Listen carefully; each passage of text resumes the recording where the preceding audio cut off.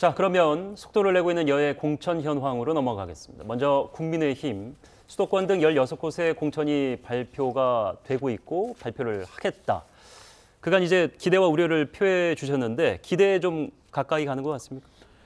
글쎄요. 이번에 사실은 국민들이 큰 관심을 갖고 있는 선거가 몇 개가 있죠. 네. 특히 바로 이 OBS가 있는 이 근처에 있는 인천 계양을 네. 이거는 이재명과 원희룡이 부- 붙는 아마 최대 관심 지역입니다. 그런데 이재명 대표가 정말 여기 출마를 할지 혹 이런 얘기가 있어요. 위성 정당인 이 대표를 물려주고 위성 정당이 비례대표로 갈지도 모른다. 설마 뭐 그런 꾀를 내겠습니까? 네. 그런데 이 개항을 외에도 지금 국민들이 관심을 받는 빅매치들이 아주 질비합니다. 그렇습니다. 아주 대표적인 것이 이제 양산 의뢰, 그 김태호, 김두관 두 경남지사가 붙는 전 경남지사가 붙는 그리고 두 대통령 예비 후보들입니다. 사실은 두 사람 다 대권에 큰 꿈을 갖고 있거든요. 예. 이분들이 이제 붙는 빅매치. 또 이제 서울에 지금 경이 어떻든 임종석 그전 대통령 비서실장이 어디로 갈 거냐. 지금 미아 상태예요. 미아서 본인은 예. 중성동 값을 내달라. 재고를 하라. 끝까지 버티고 있단 말이에요. 네. 오늘도 아마 왕십리역에 가서 그 선거 유세를 아마 했을 겁니다. 날도 오늘 추운데. 예, 제가 보기에는 아마 그 멈추지 않을 거예요. 예. 그래서 이재명 대표가 사실 머리가 좀 아플 겁니다. 그리고 이렇습니다. 이게 그 자리를 물려준 사람이 홍익표 원내대표잖아요. 예.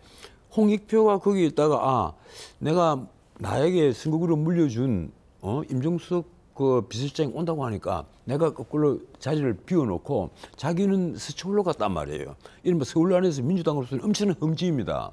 그런 의도가 있었다고 예. 보시는 거죠. 아, 와, 그래서 본인이 그렇게 얘기를 했어요. 그걸 물려준다고 하면서 다시 이제 서초로 갔는데 예. 막상 그 지금 거기는 전현희를 전략공천을 해버렸잖아요. 예. 이러니까 홍익표도 이제 이재명과 대립을 하는 관계가 돼버린 거예요. 원내대표가 예. 당 대표가 지금 대립을 하는 관계가 돼서 이 공천 파동이 이제는 문자가 당 분열로 가는 예 그런 그런 단추가 됐단 말이에요. 예. 앞으로 이제 어떻게 될지 모르겠는데. 그리고 서울 마포갑을 좀 중점적으로 예, 한번 마포갑이 또 그렇죠. 예. 마포갑에 이, 세 명이 등장을 하는데 인물이 만만치가 않습니다. 이 노웅래는 네. 지금 단식 투쟁 중이고 이 마포갑에 지금 그 국민의힘의 조중훈과 그 맞붙는 사람들 민주당 이지은 전 총경, 그다음에 장혜영 의원까지 가세를 해서 이 장혜영 의원이 사실은 이 마포지 제- 제가 마포지기 사니까 잘 압니다.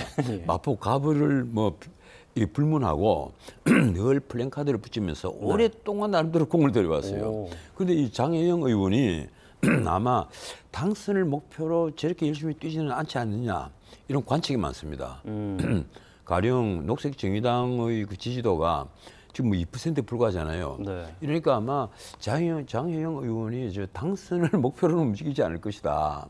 그런데 지금 민주당은 이지원 전 총경을 또 전략 공천을 했거든요. 그래서 노웅래를 빼고 이지원 총경, 그것도 여성 총경을 전략 공천을 했는데 예.